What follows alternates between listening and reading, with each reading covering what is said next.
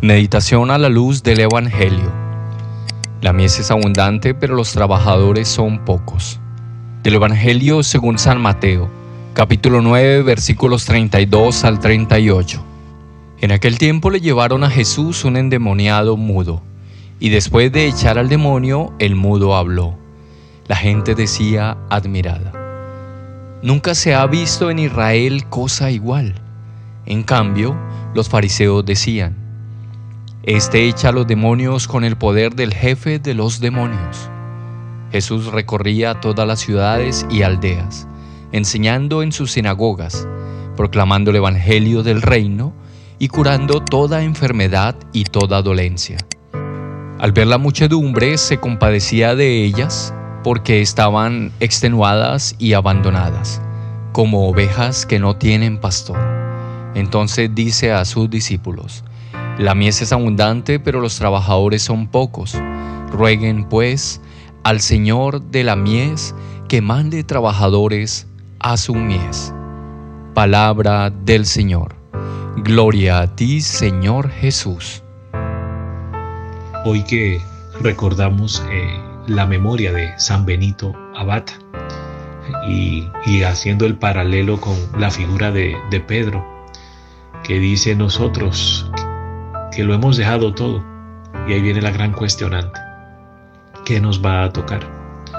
Nosotros los que vamos caminando en esta espiritualidad de los hijos de la Madre de Dios, eh, nos damos cuenta que hay un cadáver que tenemos que también aprender a enterrar.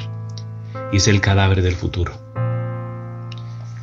Hay un acta que alguna vez leía donde el Señor dice, en el presente la mayoría de ustedes no son felices porque no saben disfrutar de lo que poseen y eso me deja en el corazón como un sinsabor.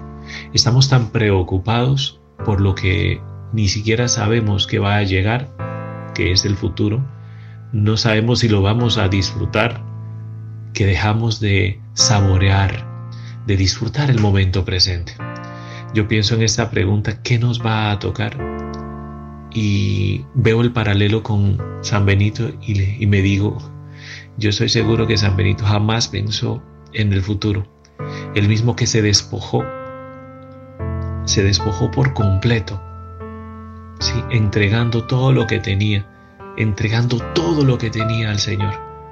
Yo soy capaz también de entregar todo lo que tengo, que Él sea mi única confianza, que Él sea eh, ese bastón para sostenerme.